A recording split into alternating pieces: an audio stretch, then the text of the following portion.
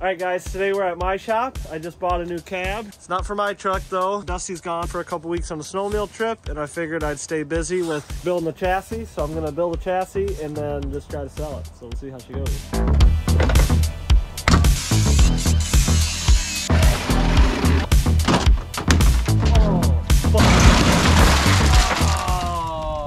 Right, I've got the cab pretty cleaned up. I still need to do some finish work and then just clean everything up a little bit. Next step is laying it out. I got the truck laid out, I think the way I want to do it here. I got the front of the truck there, center of the axle. This is where my upright slash windshield bar will be. This indicates the center of my cradle, so the inside diameter of my cradle. This is where my halo bar will start. Back here is where my axle will be centered, and then this will be the back of the truck. So a little bit worried on this, but all you gotta do, or all you can do, is do it. So I'm gonna grab a piece of pipe and start it up.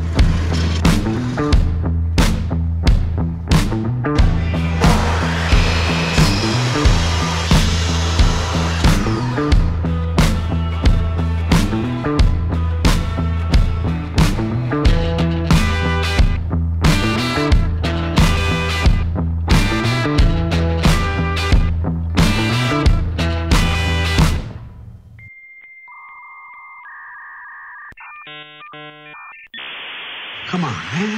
What is he doing?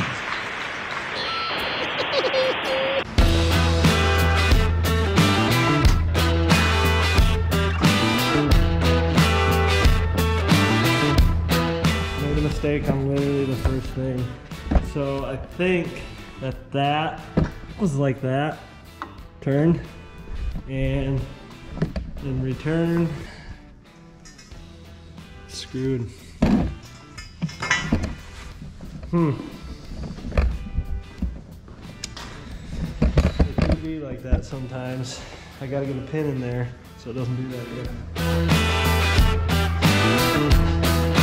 Alright, take two.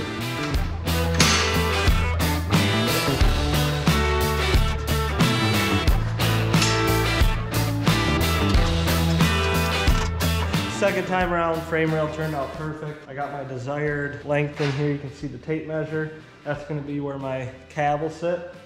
There's my halo, there's my upright. Perfectly what I want. Now I just gotta duplicate that and not mess it up. All right, I got the other two bent and perfectly together. Those are right there within a 16th, which is gonna be perfect.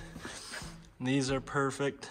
Very happy with how it turned out. Now I gotta make some U's for the cradle and then I'll make the ones under the frame. All right, the camera died on me last night when I was bending these U's up, but here they are. Pretty dang good fit. Next thing I got to do is I cut out six of these bars that go in between the truck, like center bars. So I'm gonna get all those coped and ready for when we can stand this truck up and get it all squared up.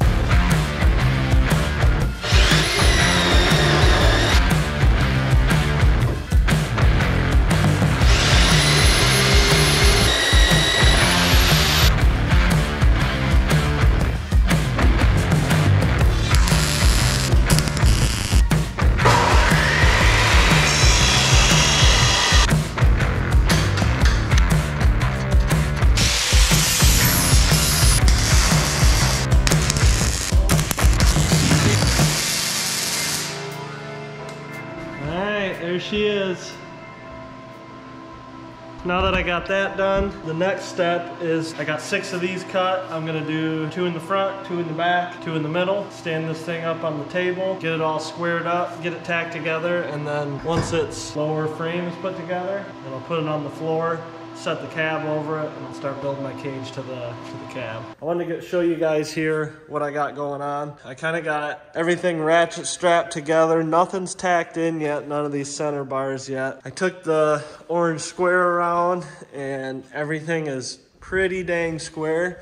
So I'm pretty happy with it. I'm gonna start tacking these on the bottom and then squaring these ones up and then these ones will just get tacked in and then you know tack the other side and start to weld it out. But she's looking good. Pretty happy with it so far. Need a bigger table though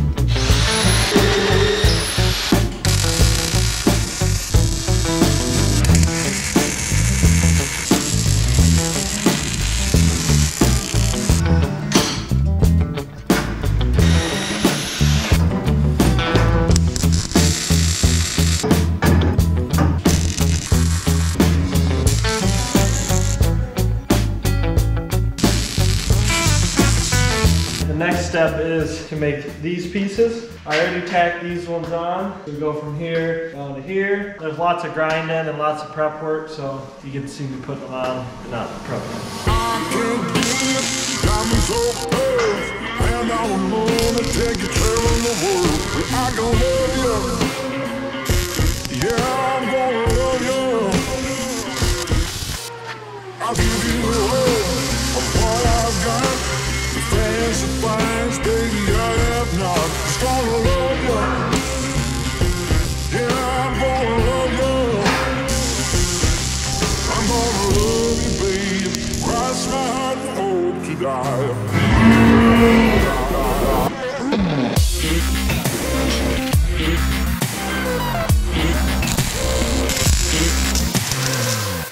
our finished product for our shock hoop system. Turned out well. Got the other side done. Just got to get it up after this one.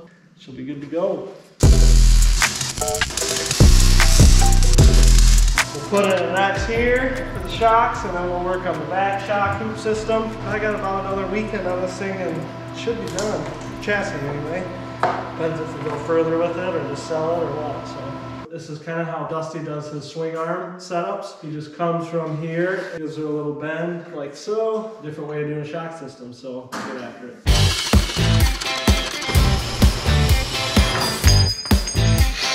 Almost forgot my safety glasses.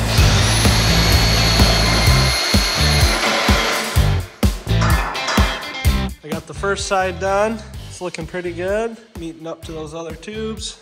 Now let's see if I can copy it. All right, I duplicated the other side and it turned out pretty good. Now I just gotta take it back on the table, cope everything out, and then get her welded in.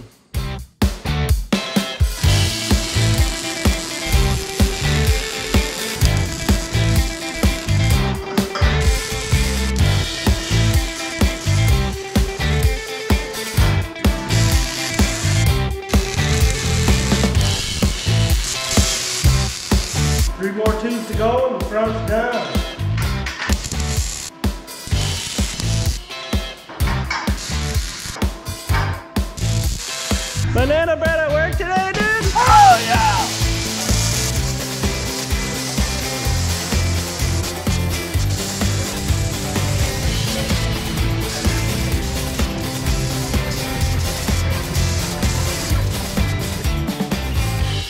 All right, guys, finally got the last piece welded in for now. I got a couple more pieces that I still need to put in.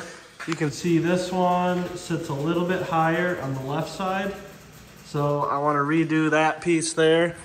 And then uh, here in the back, I'm gonna make some disconnects. So I'm gonna put a disconnect here and then a disconnect at the top on each side. And then that way you can still pull your motor out from the top.